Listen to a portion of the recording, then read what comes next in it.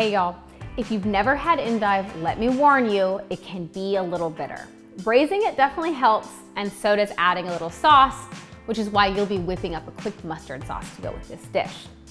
Endive is not something I personally eat regularly, but every so often I find myself craving it, and I try to eat it whenever that happens.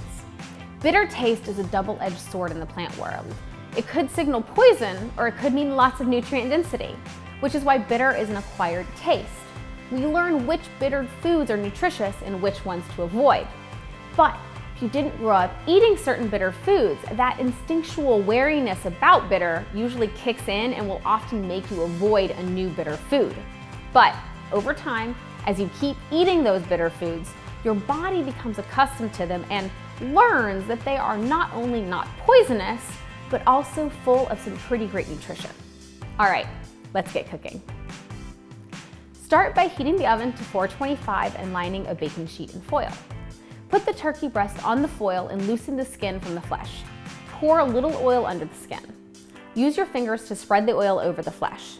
Then add a little more oil and the seasoning salt on the skin. Use your fingers again to spread everything out. Place the turkey breast in the oven and roast for 30 to 40 minutes or until the breast is fully cooked through. It will be white all the way through, the juices will run clear, and a thermometer will read between 140 and 160. Remove from the oven and cover with foil. Let the turkey rest for 10 minutes. While the turkey is roasting, however, remove any brown exterior leaves from the Belgian endive and cut off the very bottom. Then cut the endive in half lengthwise. Heat a little oil or butter in a pan over a medium flame. Lay the endive in the pan in a single layer with the cut side down. Squeeze the juice from one lemon over the endive.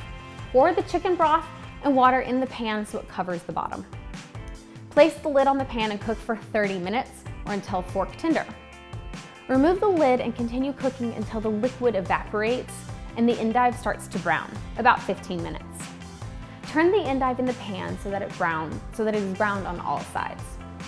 While you finish cooking the endive, mix together the mustard and vinegar. When the endive is done cooking, slice the turkey breast and place half on a plate with some endive. Drizzle a little bit of the mustard sauce on the endive with a pinch of salt. Let's eat.